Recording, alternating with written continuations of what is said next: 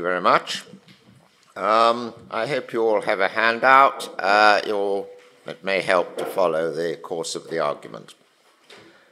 Libertarian free will, by which I shall understand agent causal libertarian free will, is freedom to choose which intentional actions to perform without there being a sufficient prior cause, sufficient prior full cause, that is, of our making those choices. I argue in this paper that we do have some evidence from our own experience of making choices that we do have this kind of free will. Act, acting intentionally involves forming an intention in the light of desires and value beliefs, both of which are conscious states of which the agent is or can become aware. Beliefs and desires are also both passive states at any particular time, one finds oneself desiring to do some action, and one finds oneself believing that the action is good or bad, as the case may be. We do not choose our desires or beliefs at any rate at a given time. When one has no value beliefs about which of two incompatible actions between which one has to choose would be the best to do, inevitably one does what one desires to do most what one has the strongest desire to do, if there is a strongest desire. When one has no desires about which of two incompatible actions between which one has to choose, other than desires to do actions to the extent to which they are good to do, inevitably one does the action which one believes is the best, if there is such an action. Hence the need for choice. And so the possibility of free choice only arises when one is faced with, and they're on the handout, when one is faced with either two incompatible, equally desired actions which one believes to be of equal value, or two, two incompatible actions, one of which one desires to do more and one of which one believes would be better to do. An agent is free, I suggest, if and only if he or she chooses freely in these situations. I'm going to assume the thesis of moral internalism. That is, that a belief that some action is good entails a desire to do that action. Um, may have other desires not to do that action for different reasons, but if one believes that an action is good to do, one has some desire to do it, although maybe not a very strong one and that is the thesis of moral internalism, which I'm going to assume. Henceforward, I will call an action which one believes not to be the best, a, a desire to do an action which one believes not to be the best, a bad desire, and the desire to do an action which one believes to be the best, a good desire. Actions, agents have to choose on which desire to act. I shall understand by the strength of a desire a measure of how much the agent wants, how keen they are to have what they desire, how much they mind about not having it. Our beliefs influence our actions only by the desires which they cause. So, by the strength of a good desire, I do not mean how confident the agent is that that value belief which caused it is true nor do I mean how important they believe it to be that they should fulfill it. Of course, all these features of an agent's value belief affect the strength of his or her desire to act on that belief. But I emphasize by the strength of a desire, I mean how much they feel inclined to do it as a result of having the desire. We have libertarian free will if and only if our actions are not fully determined by the relative strengths of our desires. So I'm arguing that our desires and beliefs are what form our actions, insofar as anything from outside forms our actions, and that our beliefs affect things only insofar as they create our desires, and so it is the relative strength of our desires which alone influences us in our action choice, and we choose between them sometimes. The claim is often made that our psychological experience of choice in these situations where we choose between alternatives of the two kinds just describes, in that our psychological experience is that it seems to us that as we choose, no causes totally determine how we shall choose. It feels as if we are influenced by causes of the kind which I have described, but that no collection of causes taken together fully determine how we will choose. That is, that it's up to us. It seems to us that we have libertarian free will.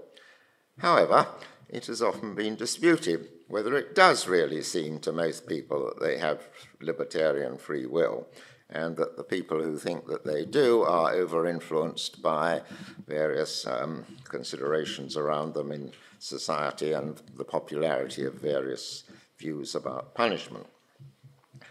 So it's worth uh, uh, having a serious psychological investigation as to whether it really does seem to humans in this situation, on the whole, that they do have libertarian free will. And um, there, to my mind, there's only been one such serious investigation done, and I mention what it is on the handout.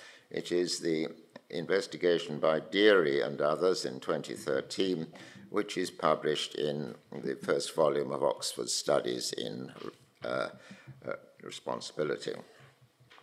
Uh, these authors um, recruited a considerable number of participants online from a website who had no previous philosophical indoctrination, um, and they paid them a modest sum for this, and they did uh, separate studies involving 84 participants in one, 155 in the second, 160 in the third. And they began by giving the participants tests to determine whether they understood the crucial questions, which were in effect questions about whether it felt to them that they could have done other than they did. And the participants were then asked to make choices in different studies between imaginary alternatives and between actual alternatives. Uh, some of which included giving a small sum of money donated by the test organizers either to one charity or a different charity, and so on. So it was a very thorough study. And the overall result was that in all of these studies, most of the participants reported their experiences as being those of people who had libertarian free will. Okay, well, let's suppose that is the common intuition. Now, I shall assume a basic principle of rationality, which I call the principle of credulity. It's had other names in the journals before. The principle that it's always rational to believe that things are as they seem to be, and strongly rational to believe things as they strongly seem to be, in the absence of counter evidence. To say that it's rational to believe these things is to say that one is epistemically justified in believing them, and that things are probably as they seem, on the evidence that they do seem a certain way. If it seems to me that I'm or you are listening to a lecture, it's rational for you to believe that you are listening to a lecture. If it seems to me that I ate toast for breakfast this morning, that is, that I apparently remember it, it's rational for me to believe it and so on, all this in the absence of counter evidence.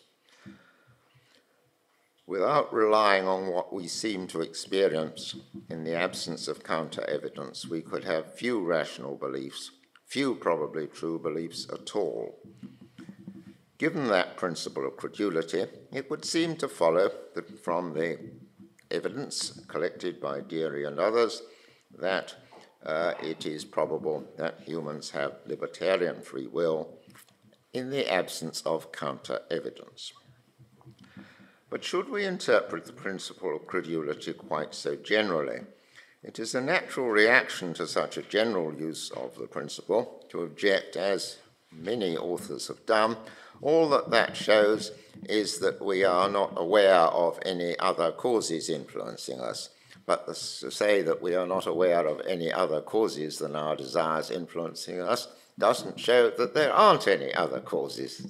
Um, we can't infer from the absence of evidence that um, of evidence of other causes that there aren't any other causes.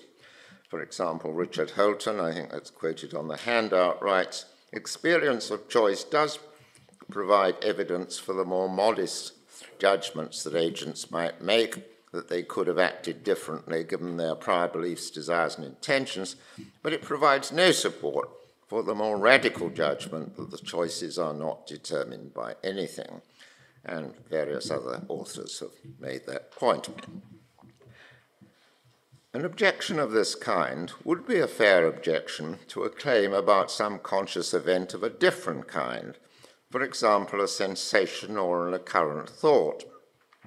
I can't have evidence merely from experience of a headache or the thought that maybe it's time for lunch that the headache or thought is caused or uncaused.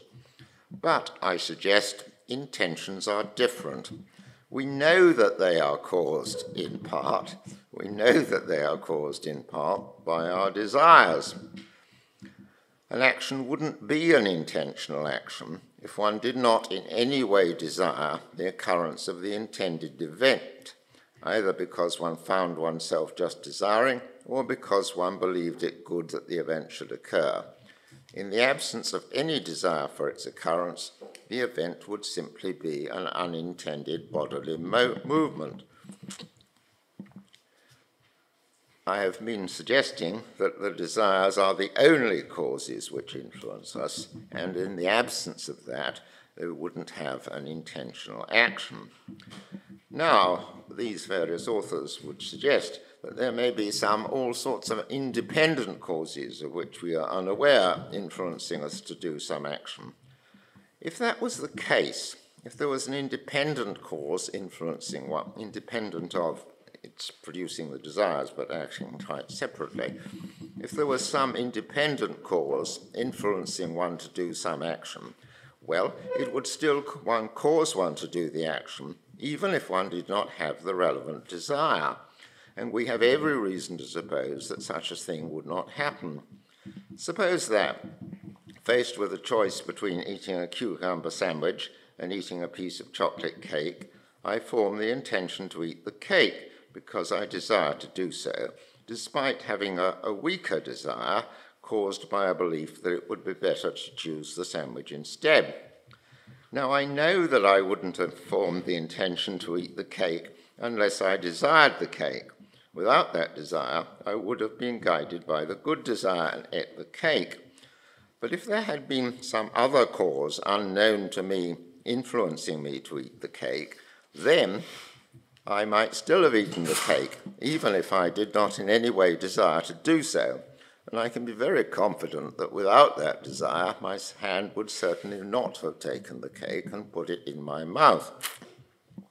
And if, totally improbably, I had lost control of my hand and that happened, then eating the cake would not have been an intentional action and would not have been formed by an intention. And if in this situation I had resisted the desire to eat the cake under the influence of my good desire, I know that I would not have resisted the desire to eat the cake without having the good desire produced by a value belief. An intention wouldn't be an intentional action, and so have been formed by an intention if its causes bypassed one's desires. And so, to quote another uh, comparative author, uh, Tim that he says there is an extensive body of research in cognitive science detailing a myriad of ways in which our actions and decisions are influenced by factors of which we are not conscious. And he sees this as perhaps the strongest objection to an argument from experience for free will. But my point is that although all sorts of unknown factors may indeed influence us, they influence us by influencing our desires. The unknown factor makes us desire to do this more or desire to do that less. Of course, that is true. But they don't act independently uh, because if they did, then they would take over even if we didn't have desires, and then you wouldn't have an intentional action. So, I've, argued the only things that uh, influence our actions are our desires. And the issue is whether they uh, influence them totally or whether we have a choice between which desire to act on. And of course, uh, reason suggests to us that uh, uh, if our good desire is the strongest desire, we don't need to do anything, we just let it go. But the serious choice arises when uh, our strongest desire is to do the bad action. Uh, and uh, alternatively, the choice arises when we have two actions of equal value. So the issue is uh, can, do we have a choice when uh, in these situations? Um, now, we cannot measure how do we measure the strength of our desire in order to assess whether or not uh, we have this sort of choice. Well, we cannot measure the absolute strength of conscious events, such as desires become when we are conscious of them. Just because they are conscious events, we cannot put a publicly accessible ruler along them or stick a thermometer in, in them. All one can do by measuring the strength about all one can do by way of measuring the strength of a desire is to measure it relative to the strength of other desires and to discover that it's greater or much greater or the same as or less than or much less than those other desires. But given my definitions, I suggest that one is often in a position to judge that one is subject to conflicting desires of equal strength. Um, that's the way it seems to me, therefore, that's evidence the way it is. I can be reasonably confident that I desire the ice cream as much as I desire the chocolate cake. Then, if I have no relevant value beliefs, something has got to determine which action I eventually take. And for the reasons I have given, it cannot be some unknown cause which operates independently of my desires. It seems to me that it is I who determine it in an arbitrary way, no doubt, not determined by my desires and beliefs. So, by the principle of credulity, I am justified in believing that that is so, and that I am the cause of this. Likewise, I suggest one is often in a position to judge that one is subject to conflicting good desires arising from valued beliefs of equal strength. And so the same applies. Something has to determine which happens, and it is I. Finally, what of the conflict between bad desire and good desire? In some of cases, of course, people do report that their bad desires were so strong that they were overwhelmed by them. And there's no reason why a libertarian should deny that sometimes this happens. A libertarian is not committed to the view that all actions are always free, only that quite often actions of the kind I have mentioned are free. Now, such is my initial stance. Now, an objector might uh, produce an objection based on uh, some version of the private language argument. That is to say, they might claim that there can't be any content to some judgment that one desire is stronger or weaker than another, uh, except by waiting to, to see, see which desire determines the subsequent action.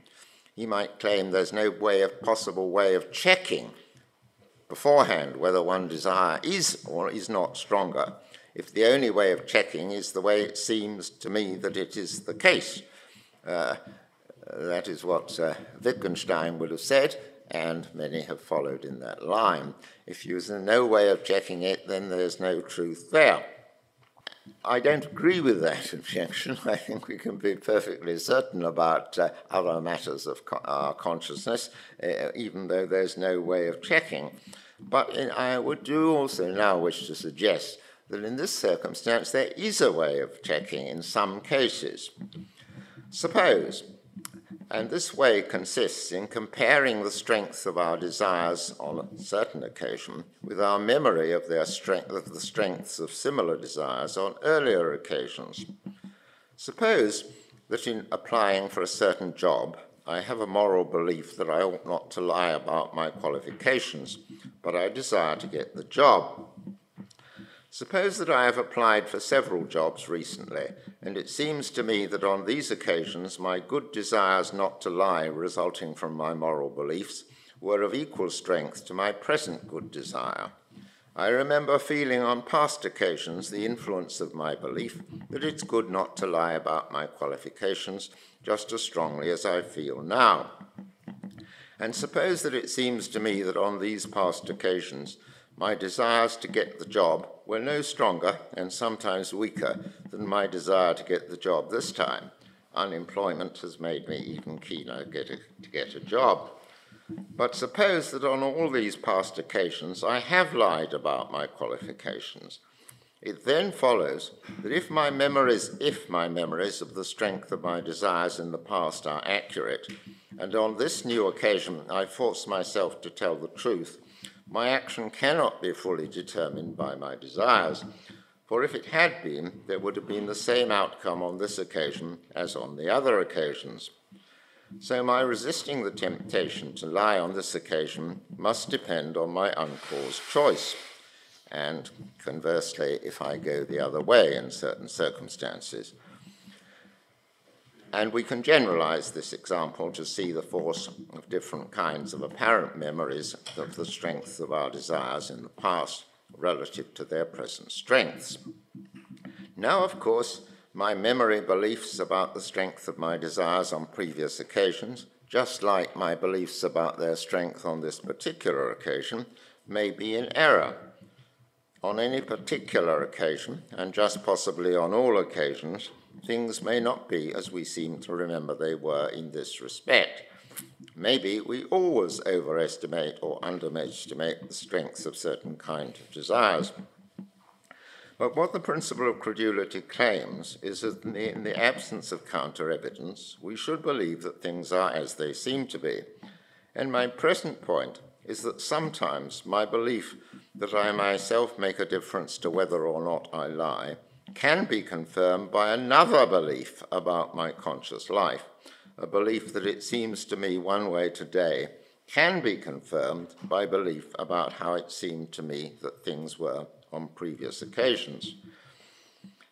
Now, we do not always have relevant information of this kind about our previous choices, nor do many of us ever make the, this kind of comparison. But what the examples of this kind do show is that we can sometimes have confirming, sometimes have confirming or disconfirming evidence from our own conscious life for our initial basic beliefs that our desires are of certain strengths. And this, in turn, suggests that we have an objective concept of one desire being stronger than another, since our judgments about this are on some occasions open to checking. Open to checking in the absence of counter evidence. All these claims are in the absence of counter evidence, and what I have argued so far is in the absence of counter evidence, um, there is good evidence that sometimes we choose, um, despite the forces, that is, the desires which operate on us. But what sort of counter evidence can there be? Well, there can certainly be counter evidence from neuroscience or from very large social science. And uh, some of the papers uh, in this conference discuss that, and I'm certain I'm not going to discuss that. The only thing I'm concerned with is whether there can be any a priori counter argument to, to all this. And um, uh, one previous paper has mentioned one or two such arguments, but I think the one most discussed in the literature, and which I find initially the most plausible, um, is the one by Peter van Inwagen, his rollback argument, his argument against his own position to which he cannot see any objection, um, um, with which uh, many of you will be familiar. Um, this argument purports to show that inevitably almost any evidence of any kind about human choices would be reasonably interpreted as showing that they are random choices. Now, uh, this argument runs as follows. Uh, Peter asks us to suppose that at some time t1, Alice has a choice of lying or telling the truth. She tells the truth, and let us suppose that her choice was not predetermined. Uh, he, uh, Peter allows that uh, uh, uh, choices might not be predetermined, but he wishes to show that in that case it's chance that is, that is doing the work, not us. Now, he says, suppose that God a thousand times caused the universe to revert to exactly the same state as it was at T1. What would have happened? We observers shall almost certainly observe the ratio of the outcome truth to the outcome lie, settling down or conferred, converging on some value. Let us imagine the simplest case. We observe that Alice tells the truth in almost about half the replays and lies in about almost half the replays. If after a hundred replays Alice has told the truth 53 times and has lied 48 times, is it not true that we shall become convinced that what will happen in the next replay is a matter of chance? And similarly, Van Inwagen claims that any other value on which the ratio of the outcome truth to the outcome lie converge would be evidence of a corresponding chance in each replay. So he suggests we've got if it's really uh, not determined, then there must be some particular bias uh, in us, and this would show up in the ratio of good choices to bad choices, which we made. And um, couldn't, he says it's going to be inevitable that we would, or almost inevitable, that would uh, settle down to some figure, and so we would be able to fix the value of the bias, and that would show the chance involved. Now, of course, there isn't any necessity that any series of heads or ta- heads, tails, or good choices, bad choices will uh, converge on any value. Um, most, uh, most such sequences of tosses of coins do converge on a value, uh, but uh, there's no general necessity why any series of uh, events should confer- converge on a value. Why do we infer from uh, the series of heads and tails converging on a value, let's say half? What is the structure of that inference? Well, if we've observed 100 tosses and it's roughly a 50% of heads, uh, what we say is, well, the, what, the best explanation of all this is that there is a certain physical probability, a certain bias of a half. And given that, then of course we are going to expect that bias to repeat itself and therefore it will be converged. But this inference is only a valid inference if we suppose that the explanation of the uh, sequence so far, the best explanation of the sequence so far, is in terms of a physical propensity in the thing concerned. But the issue in this case is that the rival hypothesis suggests that it isn't a matter of some already fixed bias. It is an undetermined choice which doesn't have a precise numerical value. It's up to Alice on each occasion how she chooses. And therefore, the step from this is the ratio of 100 choices to there must be an underlying cause that makes it this number of choices rather than that number of choices is invalid. And if it's invalid, then you can't infer further. Now, this counter argument of mine depends on the view that there can be undetermined events which don't have a precise numerical value. The point has been made by, in an article by Lara Buchak in 2013 that um, undeterminism doesn't entail a particular value. Um, and she quotes Hájek, uh, who finds this fact, uh, an example of this fact, in one interpretation of quantum theory. Hájek writes, It seems to me that the intuition that chances must always exist, in other words, precise numerical values for physical events, that chances must always exist, even for free acts, parallels the intuition that values for observables, such as position and momentum, must always exist. But the latter intuition has been challenged since Bohr and has been hit particularly hard since the Kochen-Specker theorem. So what he's suggesting is that one natural interpretation of quantum theory is that the particle has no position until you measure it. That is to say, the measurement gives it a value. Uh, but that doesn't follow from that that it's deter- that it, anything about whether it's determined or not. Well, this analogy may or may not be uh, useful, and it may not be the correct interpretation of quantum theory at all.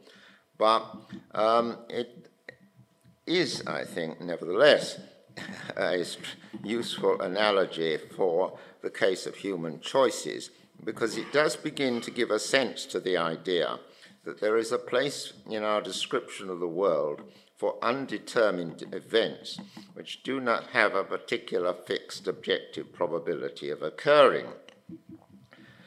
What Bouchat does not explain is why we should suppose that free choices are like this. My answer is entailed by what I have already written above that the only forces which act on the agent to influence her choice are her desires, and desires do not have absolute values. A desire only has a strength of greater than, same as, or less than some other desire, and hence the operation of these influences will not give any precise degree of probability, any precise degree of bias to the agent making a particular choice. So the agent has scope within the range of the influences to which he is subject to determine that choice. So, in summary, I claim that following the principle of credulity, we are rational to believe that we sometimes have a choice of which of our desires to act upon, and that desires are the only things which influence our, our choice, and that uh, um, it seems to us, and therefore we're right to conclude, that the desires, the strength of those desires, does not always determine how we will choose.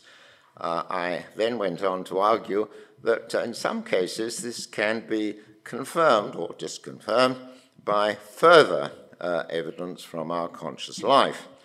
And uh, there can be, and I think it's very much open to argument, just what uh, uh, counter evidence there will be, or supporting evidence there will be from neuroscience or psychology.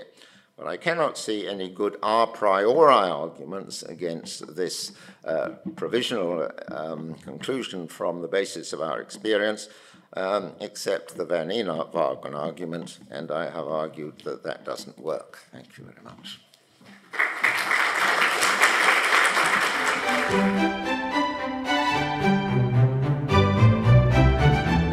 Yeah, Thank you, uh, Professor Swinburne, for your talk. Um, I am also a defender of libertarian free will, so I uh, agree with you in almost everything you said. But there are two objections I want to present here. the first one is not uh, my objection. Um, there are some people uh, who claim that uh, neuroscience is not only um, able to disprove um, the um, existence of uh, libertarian free will, but they claim that neuroscience, in fact, already has disproved um, uh, the existence of free will. They refer to some experiments um, done by Benjamin Libet, uh, for example, or Haggard or Haynes.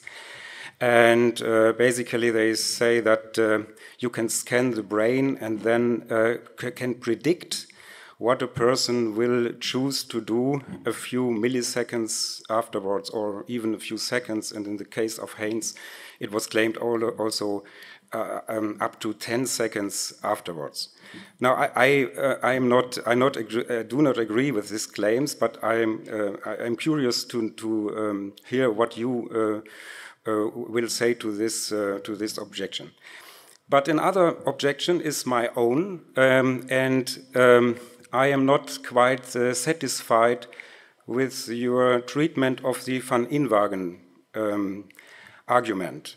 The premise of this argument is that in a free decision between two alternatives, for example, to tell the truth or to lie, there is a fixed probability for each of the two um, choices. And um, uh, the premise. And the conclusion is that therefore the so-called free action uh, must be random, must be a matter of chance, and so it is not really free. Now you um, you handle this uh, counter argument first. I'm, if I'm not mistaken, you accept the argument as a valid one, um, and then you, um, um, in order to to reject the conclusion, you reject the premise. Uh, while I, I, tend to accept the, the premise of the argument, and, um, um, but um, to reject the conclusion.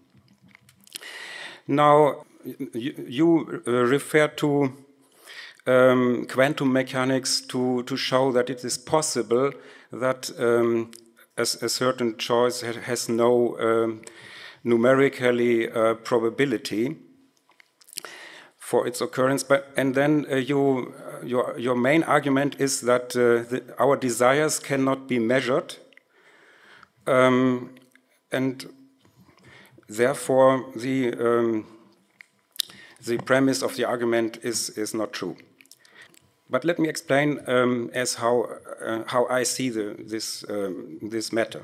I think experience show that each of us has a certain moral character, or simply a character, and that our libertarian free decisions are in a certain way bound to our character.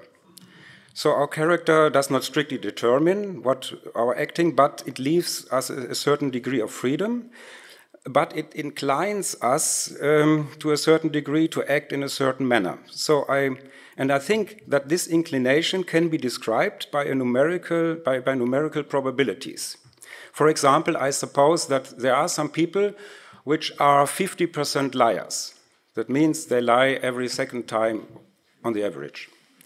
And I, I, hope there are also people who are more inclined to the truth, say they are 99% truth tellers.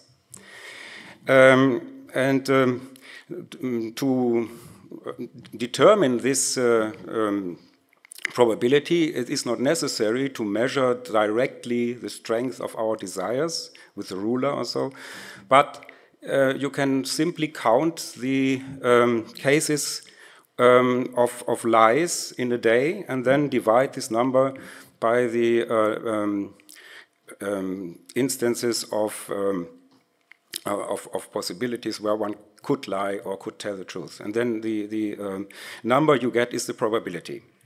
And I think this uh, probability is nearly fixed. Uh, it's not absolutely fixed. You can change um, a, a, little bit, and uh, I, I, think the 50% liars uh, need not uh, to be 50% liars all their life. They can change a character also. But uh, this character change, if it is done by free will, I think it is possible only to change character very slowly. By repeatedly um, choosing to act in a, in a certain way, we change character, but it is so slow that at every time we can attribute a, um, a probability uh, how we will act.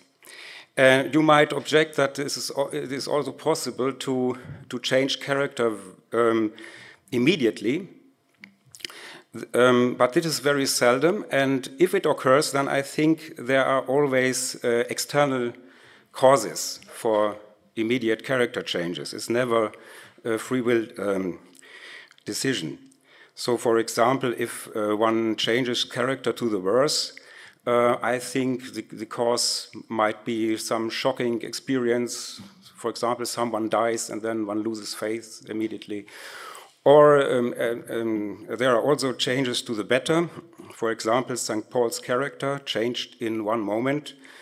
Uh, first, he was a persecutor of the church, and then uh, immediately he transformed into a defender of Christian faith. But this was not done by free choice. Uh, Paul himself attributed this to, to, God's grace. So I think um, that free decisions are always bound to our character, in a way that allows to attribute certain numerical fixed uh, values. um, probability values, which are either fixed or can, uh, can uh, change only slowly um, and uh, in, the, in the frame of the, of the character. Um, and this being so, I, I think that, that, it does not follow that we have not, that, that we have no uh, free choice, uh, libertarian free choice, because um, now looked at the definition of libertarian free choice, the possibility to do otherwise is perfectly um, given if, uh, if we have um, um, a probability value numerically fixed. That does not mean that we are not responsible for our lying or that we um, have no influence on what we do. So I, I think I'm, I'm, a kind of compatibilist in a modified form. I, I, do not hold that freedom is compatible with strict determinism, but I do hold that it's compatible with the determination of certain probabilities which leave us uh, sufficient freedom uh, of, uh, of choice. So I'm curious to, to hear what you, your response will be to these objections. very briefly in response, uh, on the first point, I don't think Libet type experiments show any such thing. Um, uh, the most they show with regard to free will is that when somebody makes a choice one way rather than another way, there is a prior sufficient condition which is correlated to, to something like a 60% degree with the, the subsequent uh, event. That is to say, the proportion of correlations is not very much greater than a half, and there's nothing very surprising in that. Um, uh, uh, but in any case, my paper was designed to uh, to rule out considerations of uh, uh, evidence from neuroscience. Um, on the second point, I partly agree with you. The phrase I used in, in my paper, and perhaps should have expanded more, I agree. Uh, as a conclu- my conclusion on this matter was that the agent has scope within the range of influences to which she is subject to determine that choice. So I'm not wishing to deny that more often we will be influenced by the strongest desire because it needs a lot more hard work to, resist, to resist the strongest desire than the weakest desire. But I was wishing to say that there is no precise degree of strength of the strongest desire, and therefore we can determine what the uh, value in any sequence of choices will be um, within. It's more likely to be this than that, of course, but we can make a difference to it. That, that was the point I was making. And of course, in real life, uh, God is not going to wind back the state of the universe to exactly the way it was, but in real life, as you pointed out, our choices on one occasion make a difference to our um, to the strength of our desires on the next occasion. That that is very crucial with regards to humans. Easier that each time we make a good choice, it's easier to make a good choice next time, and conversely. Um, however, in the imaginary thought experiment, um, uh, it is true, and I accept this, that the strongest desire is more likely to win out on more occasions, but there is certainly no particular value of uh, frequency that it will have, um, and uh, it may have uh, a very, uh, it may often be the case that for some people, the, the weak good desire always does win out. Um, there, there is no guarantee at all. I think the state of the universe, including maybe the state of our soul or whatever, is not a well defined quantity. Because if it was a well defined quantity, probably one could not deny the existing probabilities. So I would question this premise that it's possible to define the state of the universe at the moment where I make a decision. And to re. Um, uh, sorry, I don't quite understand that. I think uh, my fault, I didn't quite catch something. Um, uh, uh I think he was uh, accepting that um, uh, the only influences on us were our desires. He doesn't, I think, if I remember right, talk about that. Uh, and so, the, why is the rest of the universe relevant? What I mean is, um, the rollback argument is based on the premise that the state of myself, my desires, of of everything that's relevant for my decision is well, a well-defined thing that I re can reconstruct or capture numerically or whatever. And I think that premise is wrong. Uh, that you suggesting there are other influences on us than our desires? No, it, it's the state of the universe, including my desires, is nothing that I can really quantify. Um, well, I'm prepared to accept that, but I did have a preliminary uh, point in my ar uh, argument that the only thing that can influence our choices is our desires. Everything else influences them through our desires, and, and given that it's uh, uh, it doesn't really matter whether uh, the, the rest of the universe is fixed or not.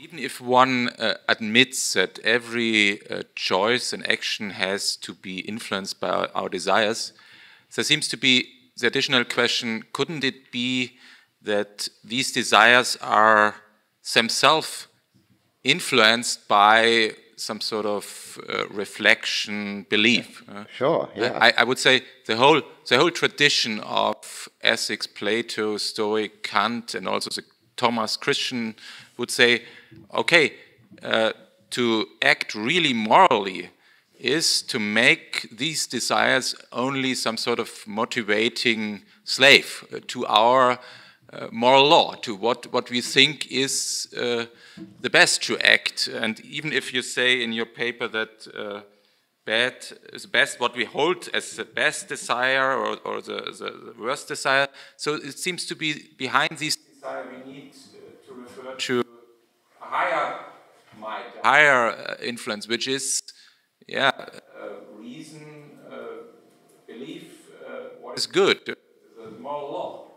Uh, be the, the Kantian position or the, the traditional position, Plato and Stoics and Thomas, against this yes idea that the strength of desires is decisive. we have to control them. There's no excuse. Uh, I'm using desire as I defined as uh, to describe the inclinations we find ourselves with, uh, how how strongly we uh, feel keen to do the action, and so on.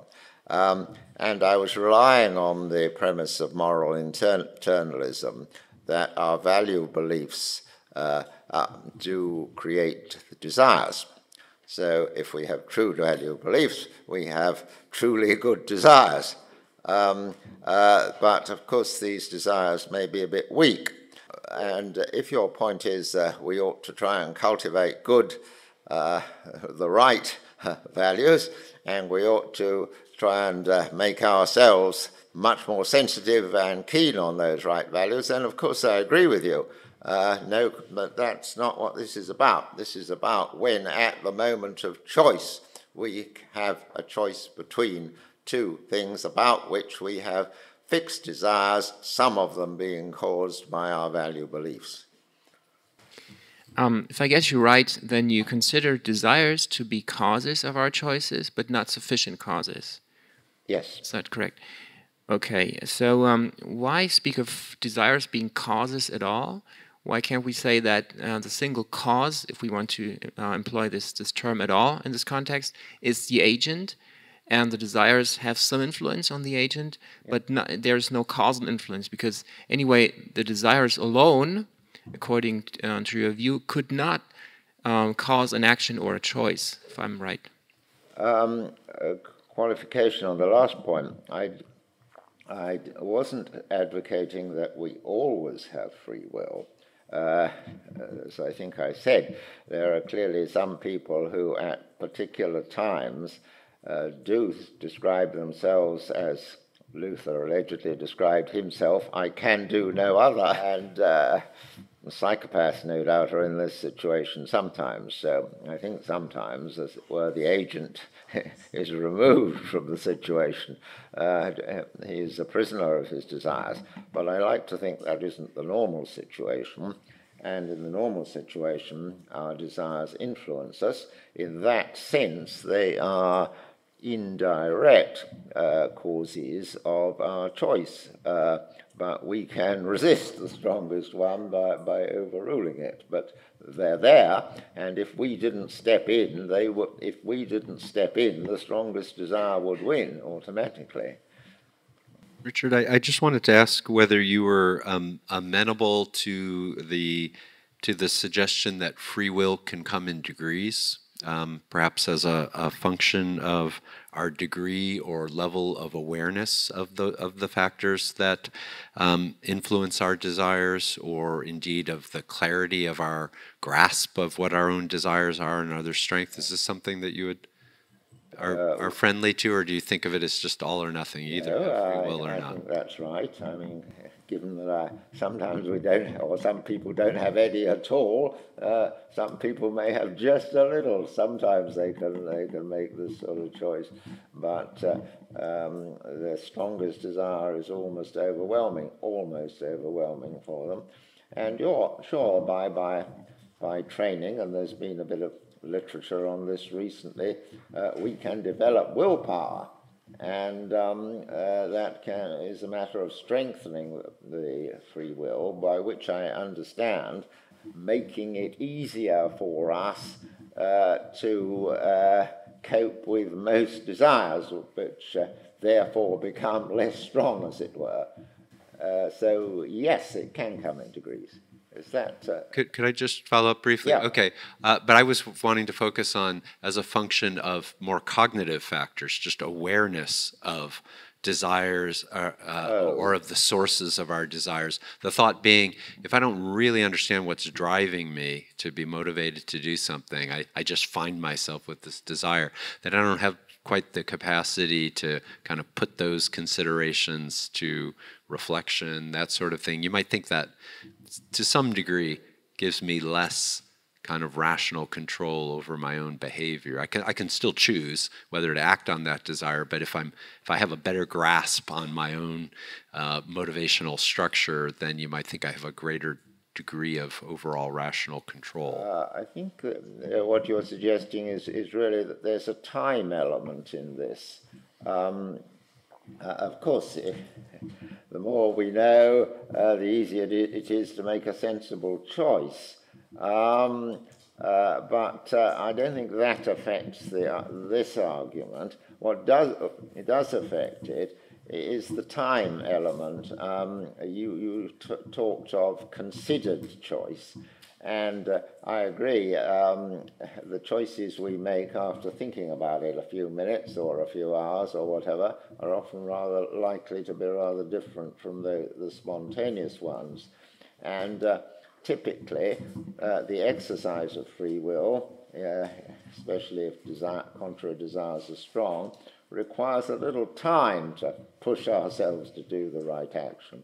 That is right. So I would think the spontaneous uh, reaction is likely to be, uh, uh, we are likely to capitulate to the strongest desire unless we, we take a bit of time about it. Uh, I accept that. And our decision not to take a bit of time about it is, in fact, uh, a capitulation to another strong desire, get it over with quick um, and that is a bad thing. But uh, uh, yes, I think that is the sort of dynamic involved, yes. Okay, thank you for your uh, very interesting talk. I just uh, wanted to ask you, in order to better understand how uh, the experience of libertarian free will would be different from uh, other types of, um, let's say, having an incompatibilist picture or a, a strong determinism. So let's imagine three possible worlds in which one we have libertarian free will, one in which there's uh, some some type of compatibilism, and there's some third world where there's a strong determinism. So how would our phenomenal experience as agents uh, differ in these three cases. And um, if we can't really speak about uh, such a difference, how can we really distinguish between our experience telling us um, which one would be the case, the, the, the libertarian one or the strong determinism or the other cases? Uh, well, it would depend on uh, the another feature of the alternative world, which you haven't mentioned. The mere fact that the world is an alternative world doesn't guarantee that we will view it as an alternative world. Um, uh, so it, it, might be an alternative world in which our experience was exactly the same as in this world, but nevertheless, it would be right to uh, interpret that experience as an experience of this world, simply in virtue of the principle of credulity. But if it was uh, an equally uh, uh, truth sensitive experience in the alternative world, then we wouldn't have the experience of choosing at all. Uh, we would just be automatically responding to situations. We would find ourselves automatically make. Sorry, uh, uh, there would be something analogous to choice, but it wouldn't be an, an, an, to, to intention but it wouldn't be a matter of choosing between, there wouldn't be an experience of choosing between all alternative actions uh, we would just uh, experience ourselves as initiating certain uh, actions, just as in not that I know much about psychopaths, but I imagine psychopaths are, or, or, total drug addicts. They can't help doing this. Well, it would be like that for all of us in the, the alternative world. That's the difference it would be if we were aware of it. It seems to me that from a biblical viewpoint, there is a difference between doing good and the, the freedom expressed in doing good and sinning. And um, so I wonder how you can accommodate this uh, symmetry. Just take the, the, example you gave of Luther. When, Ju when Luther says, I can do no other, I would say this is the highest expression of freedom. So he, this is the, the prime example of a free uh, action and it's the exact opposite of a psychopath. So what? How can we deal with well, it on your uh, account? I don't agree with that. If it was written, of course, one doesn't know uh, much about uh, Luther's internal life, and I know less than most of you, I dare say. Uh, but um, if we are to take his report seriously, um, that um, it simply wasn't an option for him. He was just doing what he uh, automatically felt right to do, uh, then uh, I don't feel that he deserves any particular moral credit for this. Of course, he did a great action, and uh, the, mo- the moral credit uh, will belong to his previous actions, where he was facing up to conflicts in his religious beliefs and so on. And that's where the moral credit lies, not uh, at the end of the uh, end of the story, where he makes the the big decision. But if the big decision really is an inevitable one, then I don't think that is the sort of thing for which he deserves moral credit. Though, of course, it's great that he did it, and he deserves some other sort of credit, but not the sort of credit that, that um, we get for making choices one way or the other. That's my reaction. Uh, you said that um, desires influence our actions, but do not also our beliefs influence our actions. And not only in the ah. sense that we would have that we would have um, different desires if we had different beliefs, but sometimes also in the sense that whether we have a certain belief or do not makes all the difference whether we do an action or do it not. Of course, uh, but my point was our beliefs uh, influence our action by creating desires well, I just said that also a belief make all may make all the Give difference. example. Well, um, I am thirsty. I have a certain des desire, and I I want to get something to drink, and um, then where I go to the left or to the right is where I expect say, a refrigerator. It makes all the difference for me. Whether I have the belief that on the right there's a refrigerator where I can get a Coke or something. Yeah, but uh, the difference it makes is that you now desire to go to the right. That, that is the final determinant of your choice.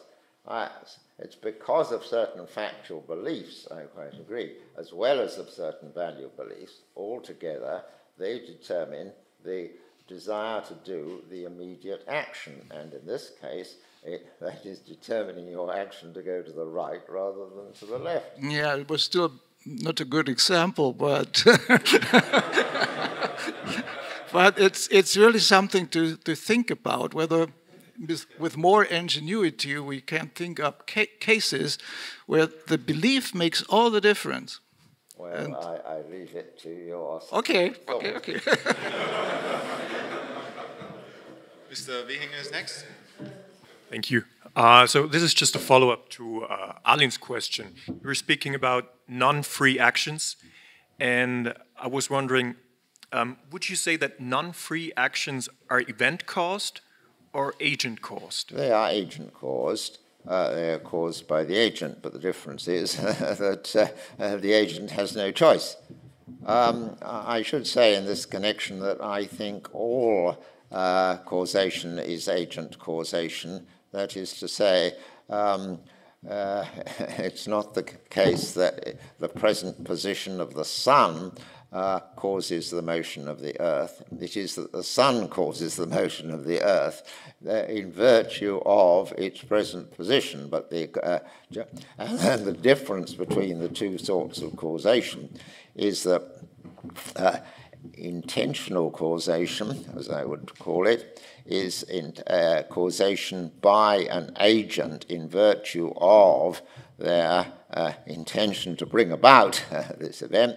And non, uh, what is normally called event causation, is really agent causation by the substances involved in virtue of their um, dispositions to exercise certain powers and their liability to exercise them in certain situations, so that the sun has the power to cause the earth to move and the liability to exercise that power when the earth is in a certain situation relative to the sun. I think that brings the two sorts of causation much closer together than if we suppose there are really two sorts of causation, which seems to be multi, it seems very strange that there should be one sort of process by which I affect my brain and quite different sort of processes by which my brain affects my limbs. So that, that's uh, rather by the way, but anyway, that's. It.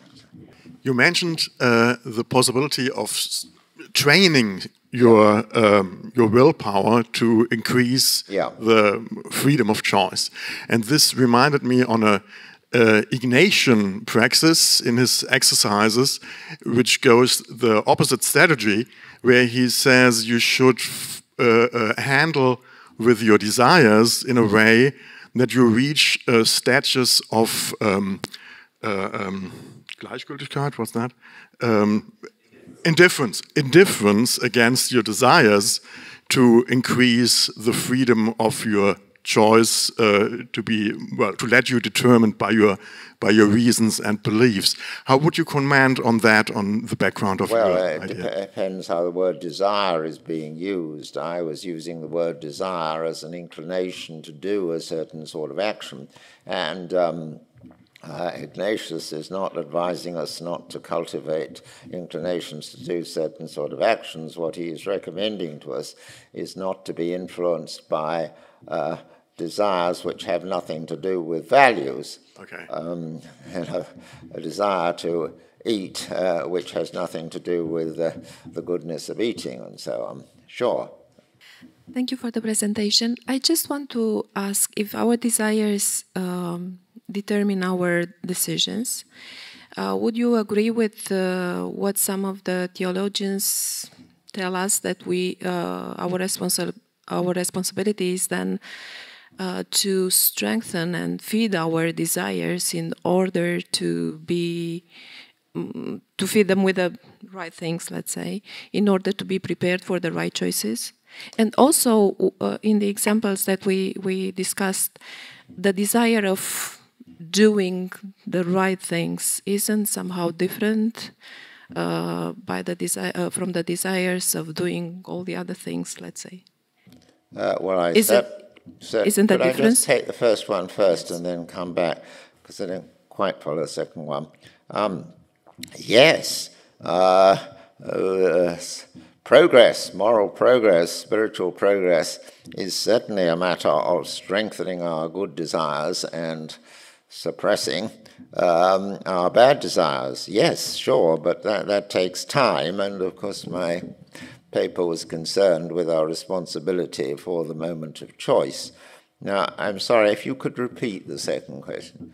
It seems to me that the- the desire of doing good it's completely different from the desire of some other desires that we have in our heart. Yes, uh, but um, sure, uh, I agree. uh, but uh, uh, the, the desire to do good uh, by itself uh, has no effect. It, it just it has to be combined with uh, uh, a, a belief that a certain action is a good action.